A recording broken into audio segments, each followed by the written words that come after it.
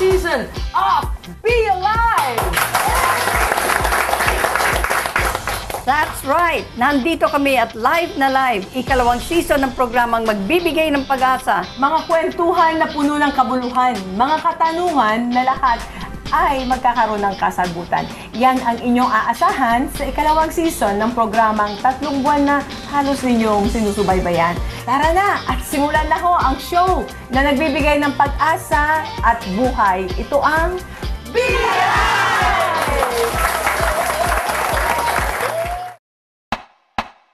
Here we go.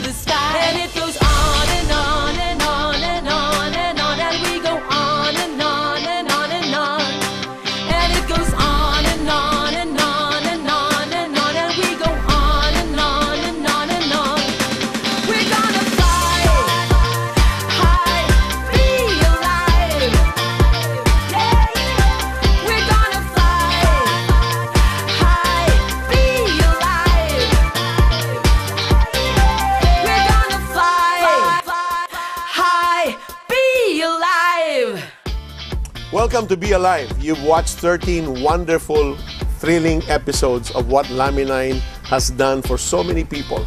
Cancers being cured, uh, psoriasis, all sorts of diseases. People now are just living healthy. I just turned uh, 60 last January 30. I am now officially a senior citizen. But I tell you, my energy is like I'm 40. I've never felt so energized, so focused in my work. I can just go on all day long, all because of Laminine. I tell you, Laminine really works. Subukan nyo ang Laminine. Congratulations sa ating lahat. Parang kailan lang, di ba? Nagsimula tayo, three months na. Ngayon, nag-start na naman tayo ng second season. Second season na ho to. And Susan, huwag natin kalimutan sabihin sa ating mga audience na 8.30 na po ang ating time slot ngayon. And we've heard different testimonies ng may mga sakit at gumaling halos. Mga storyang minsan ay di mo halos mapaniwalaan. Ang lahat ng mga naging testimonials dito ay nagsilbing inspirasyon at nagbigay pag-asa sa maraming nakapanood sa atin. At ngayong umaga, isang story na naman ang kanilang makikita.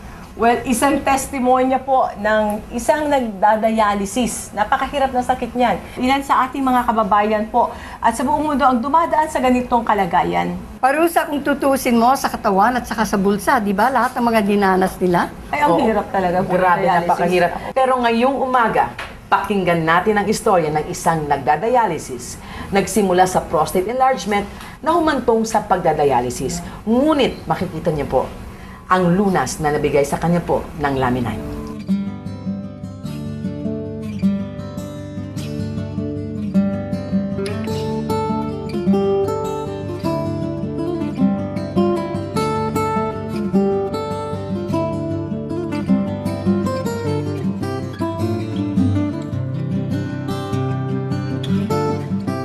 Sabi ko sa misis ko, iba rin na ako mamatay para wala na kayo hirap dito.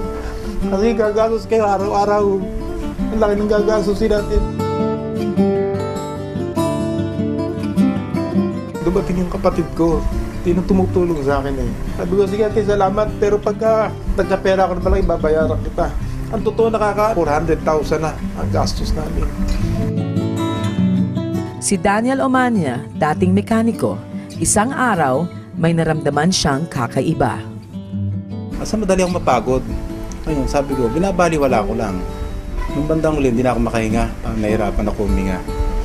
Sabi ko sa asawa ko, takbo na tayo sa ospital. Di nagtagal, naging dialysis patient. Kaya ako mataas. Nasa 10 point mahigit, ganun. Binutasan nila ako rito para mag-dialysis sa dugo. Nung ma-dialysis ako, naghintay ulit ako ng ilang araw. Kaya ako, hindi rin bumababa. Creatinine ko, laging 10. May nag-alok sa kanya ng laminine. Noong una, inayawan niya ito. May nag-alok sa akin isang babae. Wala akong bilib sa mga ganyang food supplement na yan. Herbal na yan. Kasi ako, nagda-dialysis din ako, sabi sa akin ng babae. Tapos yung asawa ko may prostate, stage 3 ata o 4, sabi niya sa akin. Nawala. Sabi ko parang naniniwala na ako sa iyo ha. O sige, bigyan mo muna ako ng isang box ng Laminine. Sabi sa akin, dalawang beses sa umaga, dalawang beses sa tanghali, sa gabi, dalawang beses. Yung isang box, nainom ko ng 5 days lang mahigit. Nagpalaboratory ako. Ba, nagulat ako, naging 7. Natuwa ako, de, sabi ko bumaba. Ayos yun ah, tuwan-tuwa ako ah. De, tawag uli kami. Bigyan mo nga uli ako ng isang kahon. Inom, inom. Ba, naging 4. Nak, tuwan-tuwa na ako, sabi ko ayos na. Malaking hirap ang dinanas mismo ni Daniel.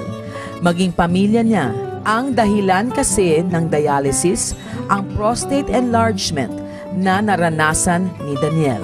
Ang alam ko talaga, ang una sa akin, prostate. Hindi yung kidney. Kasi yung prostate ko, napipigil niya kasi yung ihi ko. Kaya yung kidney ko, nahirapan. Nahirapan na nahirapan. Kaya nga sabi nila, ang kidney ko, chronic disease. Wala na rin pag-asa. Tumitigas yung pusong ko. Dahil schedule ako operahin. Hindi raw pwedeng operahin. Kasi yun daw prostate ko namamaga. Hintayin muna natin mga 2 weeks. Uminom ka muna ng gamot. Wala akong makuha sa butika. Hanggang sa ginamit ko, yan na nga yung Laminine. Nung nakainom ako ng Laminine, ba, sabi ko wala, ano, wala sakit ah. Okay yata upo ko ah. Ulit-ulit ko pang ganun, eh, ginanong ko pa eh. Hanggang sa ngayon, lumiit yung ano ko. Kasi nakakatiter pa ako eh, oh. Dahil sa Laminine, nagkaroon ng pag-asa at kahit paano ay mas sumigla si Daniel. Siyempre, happy rin ang buong pamilya ni Daniel. Kaya nagpapasalamat nga ako. Hindi ko kalaing masiswerte ako pa yung Laminine yun eh. Pero doon ako nagulat yung ano ko bumaba nang bumaba yung tray ako. Nung bumaba nang bumaba, natuwa na ako. Yung mga kasabay ko na matay na iba dahil di na kaya ng katawan. Kaya nagulat sila nung makita nila ako. Ba't ang lakas-lakas ko? Kaya nga sabi ko, sineshare ko sa inyo to. Kung Laminine, nakatulong sa akin to. Thank you po. Alabas na monumento, alam niyo na. Thank you po. Thank you po. Thank you, sir. Thank you, sir.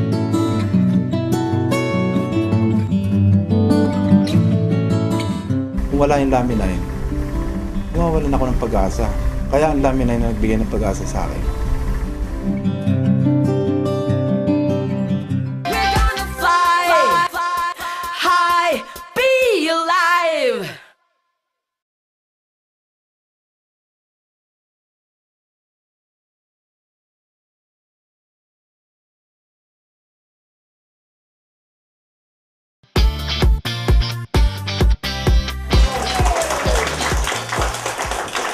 Welcome po sa inyong lahat. Ang inspirasyon po namin para bigay po sa inyo ang pangalawang season ng Be Alive ay dahil po sa napakarami pong nagpunta talaga sa opisina, no? Yes. May sakit sila, tapos mga after 3 weeks, magaling na. Again po, hindi ko po sinasabing ang Laminine ay gamot. Hindi po kami nagbibigay ng medical uh, Advice. advice. How can we not give them another season? Exactly. Tama ho yun. Yes. So- Magpasalamat ho tayo kay Susan Barlin. Yes! We will continue to give you another season to inspire you, give you information about all kinds of uh, possibilities. Oh, within 10 minutes, I think we have about 100 calls, di ba? Yes. Ay, grabe, oo. Napapasalamat din kami sa mga viewers natin na talaga naman, eh, every time lumalabas ang ating programa, hindi lang 100 calls si Tamagi, kung hindi 300 plus calls a day. Gusto ko rin pala pasalamatan si Congressman Valencia na tuwing linggo nanonood sa Mindoro at saka po yung mga taga Cebu, mga taga Ilocos at saka Mindanao, mga taga Laguna. Halos lahat ng Pilipinas na talaga. Yeah. At hindi po natin pwedeng kalimutan ang ating mga 35,000 distributors. Umulan, umaraw, wala po silang ginawa kundi maghanap ng kung sino po ang matutulungan ng laminate. At ngayon naman po, kasama po natin ang ating napakagwapong mga doktor, si Dr. Alvarado from Cebu, at syempre po ang ating isang mainstay ng Laminine, si Dr. Arlie Imperio. Doctor, yung unang episode po natin ngayon is about dialysis, no? Yung kidney failure, no? So, bakit po ba nagda-dialysis ang isang tao? ang function ng kidney ay linisin yung dugo natin. Yung dugo natin dumadaan sa kidney. Pinipilter niya yung mga basura at binabalik niya yung dugo sa circulation.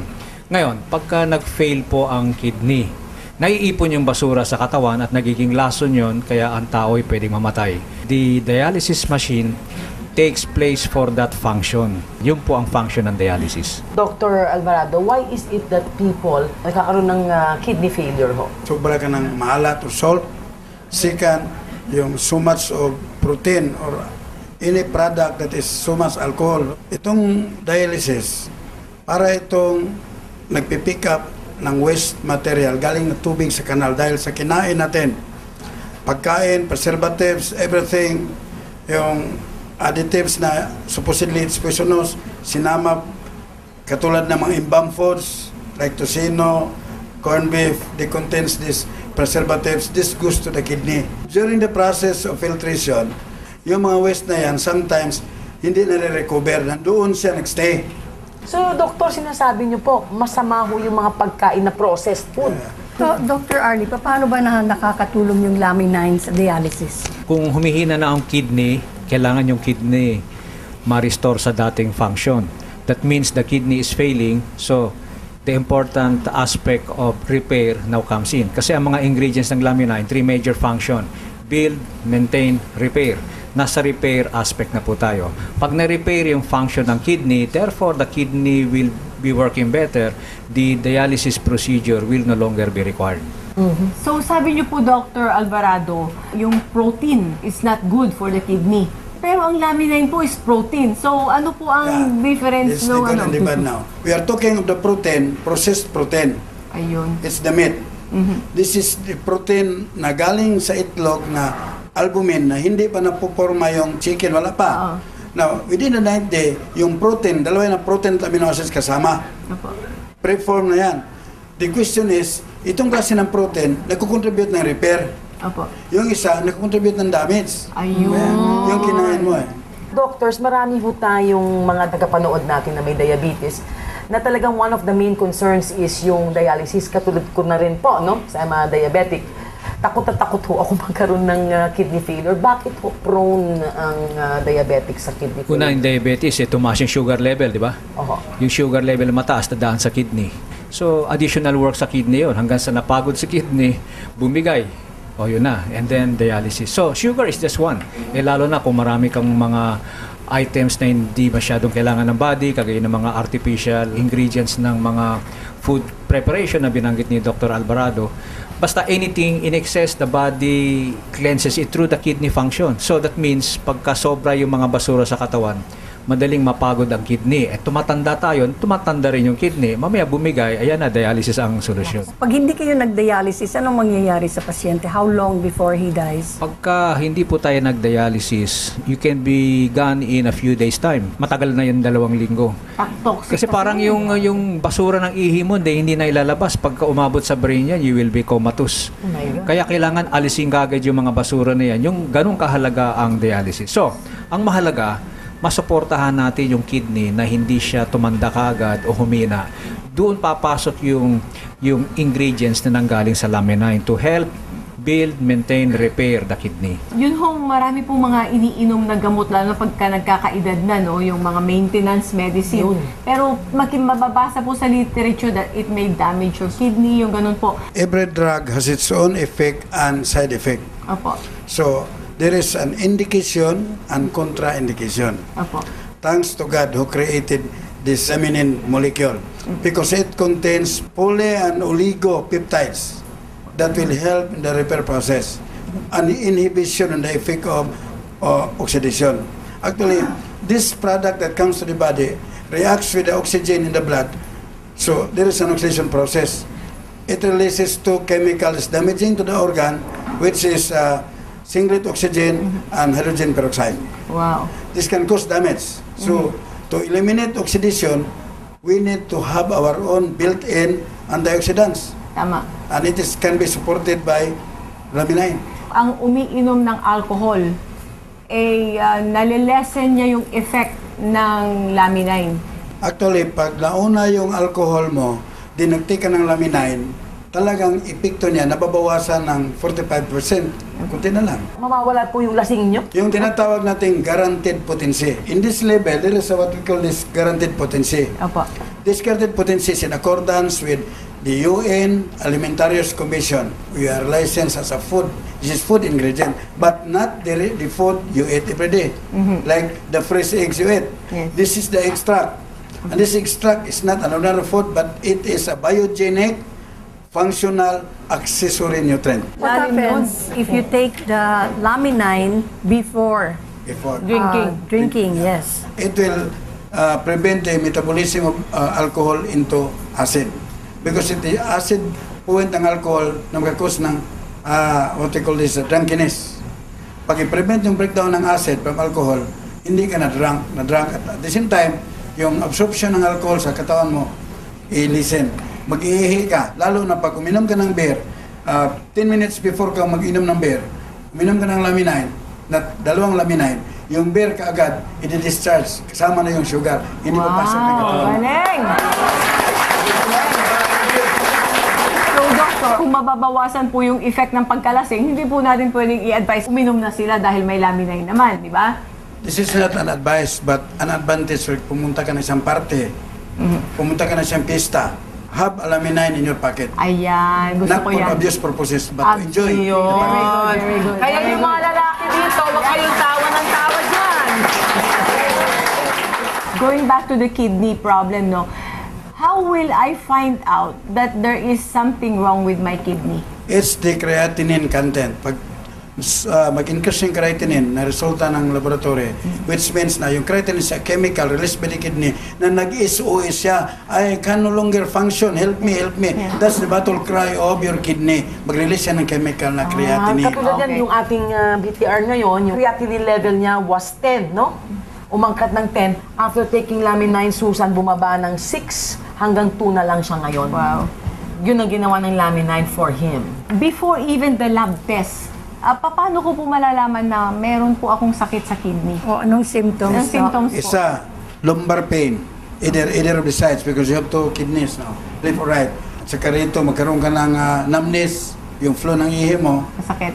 masakit, which means nga maybe you have a kidney stone or any trouble inside, then go to your urologist or any physician available, request for a laboratory analysis. Dr. Arlie, what is your advice dun sa ating televiewers? Una, yung kidney is one of the vital organs of the body.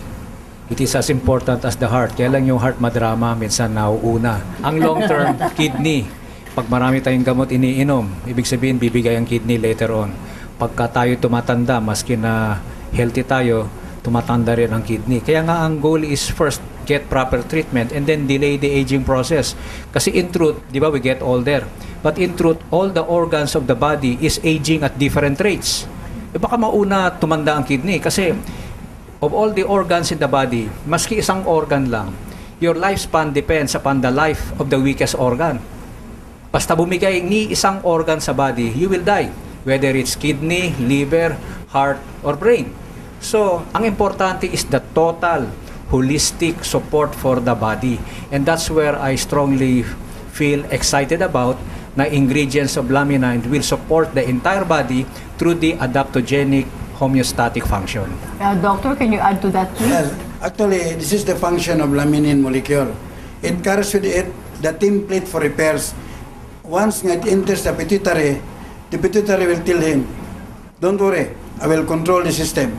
I will red alert all the organs and all the stem cells in the body to start the repair system. Dr. Arlie, dun sa mga hindi pa nanonood sa atin, first time nila, no? We're talking about Laminine. Could you please explain it simply in a manner in which our televiewers can understand? Ang laminine, meron siyang ingredient galing sa 9-day-old fertilized chicken egg. Ibig sabihin ng 9-day-old, bago ma-create yung chicken, merong power doon sa ingredient na yon. Bago ma-create even the first cell of the chicken egg, kinuha yung ingredient, yun yung proto-embryonic stage extract. Now, that power is converted and uh, given to your body, it will strengthen the cells of the body that are already present. Ngayon, pagpunta niya sa brain, lalo sa pituitary gland, the pituitary gland is the master gland of the body. Gagalaw lahat ang hormones ng body at gagalaw lahat ang systems and cells of the body. And that is you need to maintain and uh, repair the body and therefore delay the aging process at kung may sakit po tayo, may laban tayo maski anong sakit kung malakas ang body. Kaya nga I feel it can be combined with the proper medicine given to any medical condition. Kung may sakit, magpa-doktor and then dagdagan ng laminine as functional food support. Kung wala namang sakit, yan po ay delaying the aging process and therefore improve the quality of life of everyone. I would like to uh, share na tayo po ang second country open na available ang Laminine. Actually, the, it is from the United States. Kaya napakaswerte po nating mga Pilipino dahil pinagkaloob po talaga ng Panginoon na madala dito ang produktong to dahil napakarami po talaga natutulungan. And fast-acting, Doctor. Yes. Bakit po fast-acting? Because of the nanotechnology. Ayun. Nanotechnology is the smallest uh, molecule is uh, the measure is one billionth of a meter. So it's so small. So the sensors in the stomach, which can distract uh, any type of medicine or supplement, if it is uh, micronized, it reacts with the acid, decompose, so you can only get 15% of the potency. Actually, ito hindi nakikita sa Tama sensor po. sa ilalim. Goes directly, hindi dadaan ng digestion but absorption and transport. Tama. Grabe, no? Total body absorption. Kulang pa sa inyo yung 30 minutes. Alam ko pong kulang na kulang po para makuha nyo lahat ng information. Pasyal po kayo sa office. Araw-araw meron po tayong training at saka product seminar ng mga doctors natin. We would like to thank our doctors and um, when Be Alive comes back, we're going to have some special guests from Cebu. We'll be back.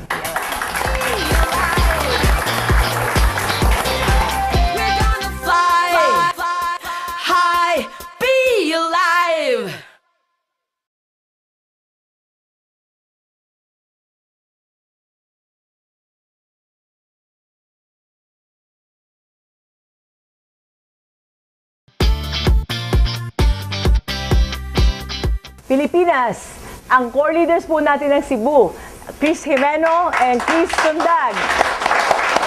with his wife, Edna Dunda. Chris, ano ang ah, masasabi nyo sa Cebu, no? Kasi alam ko kayo ang pinaka-core, ang puso ng uh, Laminine sa Cebu. As of now, uh, marami na kaming natutulungan at saka marami na rin pumupunta sa office ni Pa Infinitus. So far, we are very much successful. Very Thank you, good. Pro So Ma'am. you're touching people's lives Yes, in Cebu. of course. So, and Chris, Chris Tundag, Grabe talaga ang blessing ngayon sa Cebu.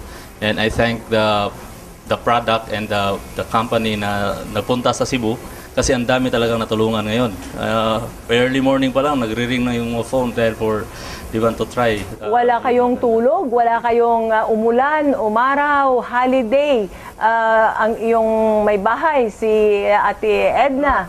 Grabe, maraming kumakatok, maraming tumatawag sa Kay cellphone, Chris, madaling oo. araw lang, gising ka na sa sobrang lakas. So, like Davao and other areas, no? Ah, nasa Bohol na rin kayo. Correct. Kumusta ang Bohol at Dumaguete? Ngayon, ang Bohol, uh, they're doing good. Every week, they are getting uh, better and better. They have always a business presentation, big boom uh, every week. Ilan na ang member natin sa distributor natin sa ano sa Cebu? I think uh, nung last na record ni, ni Ma'am, mga around 6,000 distributors now in Cebu. Wow, very good, very good. Ma'am Susan, iba talaga ngayon ang Cebu, Cebum na Cebum. Sibum na sibum. At ah, baka gusto nyo imbitahin sila kung saan ang presentation nyo. Every day po tayo sa office, Cherry Court, and uh, 6 p.m. every night. Then we have presentation every until And- Saturday. Kung gusto nyo po na mag-guide sa inyo tungkol sa Laminine at saka yung pong kap- pangkabuhayan, wala, no? Dahil ah, mga idol po to. I- sila po ay magtuturo sa inyo ng tamang sistema at tamang pamamaraan dahil talagang hardcore po ito pagdating sa integrity at saka bu- buo ang puso. How did Laminine touch you and how are you touching other people's lives through Laminine? Ang laking nagbago ng buhay ko ngayon for the past 8 months in Lami 9.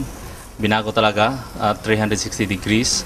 Dami ko nang natulungan. Nagpapasalamat sa iyo. Yung iba, Chris, thank you for the opportunity and the, the yung health namin. Ah, grabe ang ang natul- natulungan talaga ng Lami 9. I have helped so many people, including my best friend's uh, father who just suffered stage 3 cancer.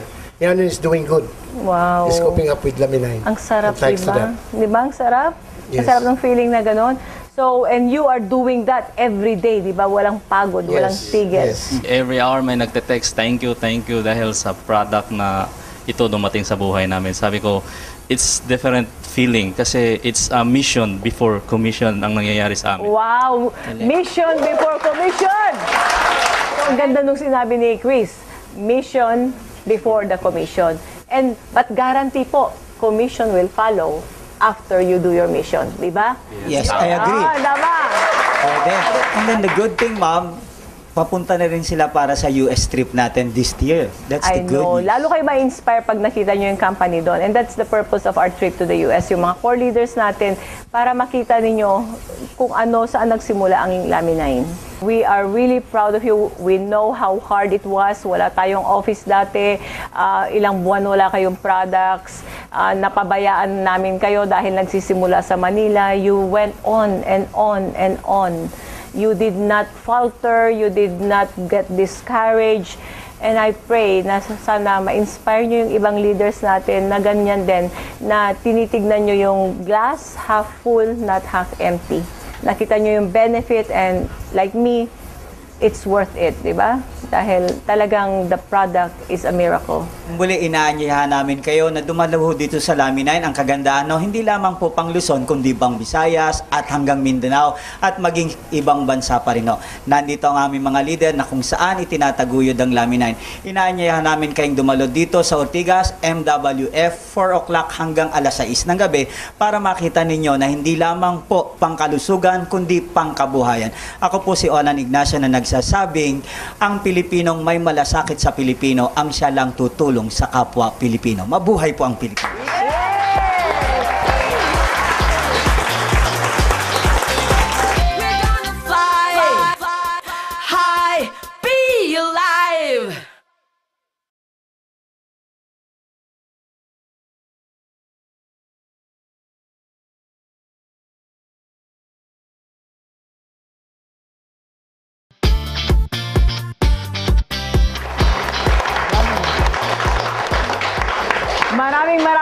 maraming salamat sa inyong lahat, sa ating mga guests from Cebu, ang ating audience at sa inyong mga televiewers. Ana, Miss Maggie, Forever Rich Philippines, Life Farm Global, maraming maraming salamat po hanggang sa muli. Linggo, 8.30 po ng umaga. And don't forget, Aquabest.